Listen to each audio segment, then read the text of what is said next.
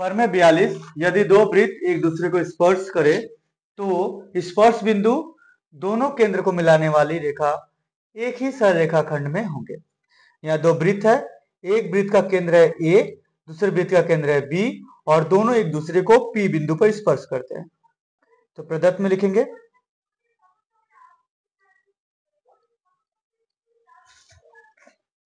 ए और बी केंद्र वाले वृत्त।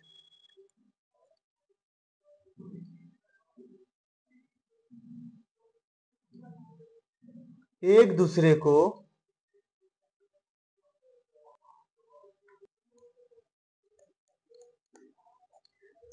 दूसरे को P बिंदु पर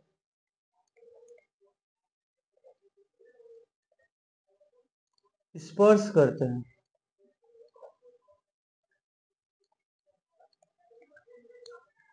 तो सिद्ध क्या करना है?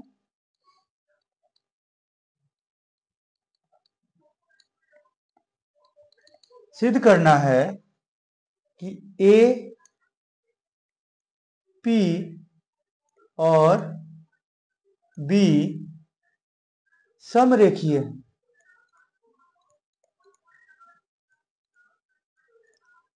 यानी कि ए पी बी तीनों एक ही रेखा में स्थित है। इसके लिए रचना करेंगे।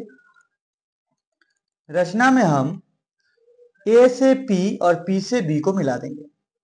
लिख देंगे ए पी और पी बी ए पी और पी बी को मिलाया।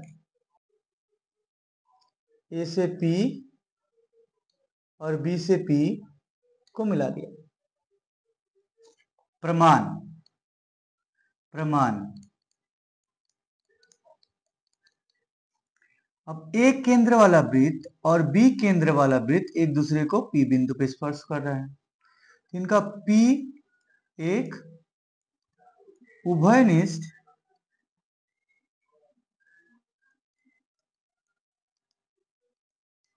स्पर्श बिंदु होगा।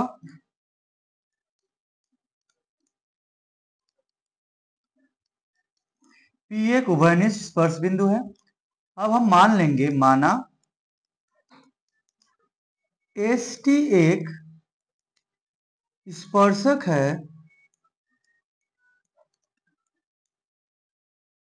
जो दोनों वृत्त को, दोनों वृत्त को P बिंदु पर स्पर्श करता है। यानी कि एसटी भी क्या हो जाएगा? उभयनिष्ठ स्पर्शक यहाँ उभयनिष्ठ स्पर्शक बना देते हैं। ये हमारा एस टी उभयनिष्ठ स्पर्शक। अब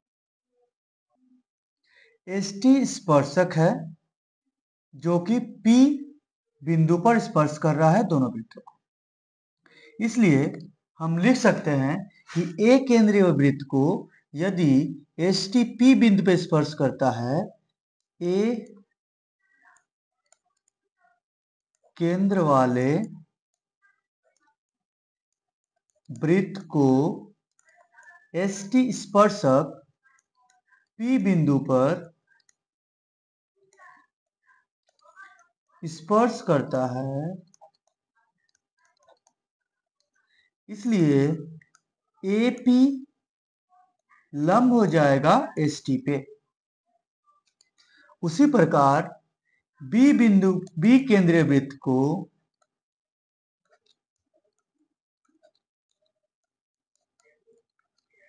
एस टी पी बिंदु पर स्पर्श करता है।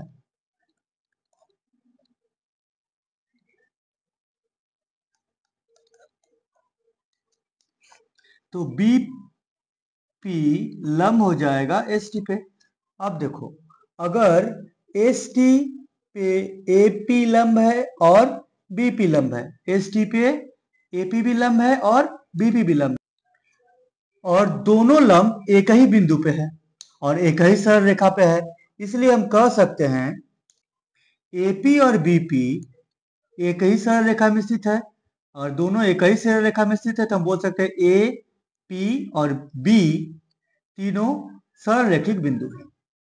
लिख देंगे तब। इसलिए एपी और बीपी एक ही बिंदु P पर ST पर लंब है। AP और बीपी एपी और बीपी एक ही बिंदु पी पर ST पर लंब है। तो हम लिख सकते हैं, इसलिए AP और BP एक ही सरल रेखा पर स्थित है।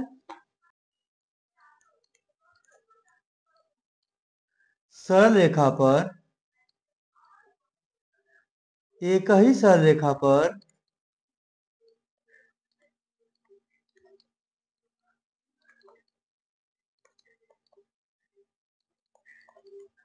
स्थित है।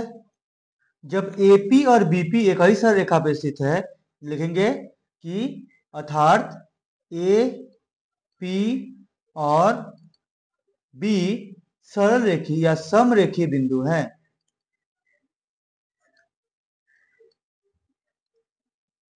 प्रमाणित।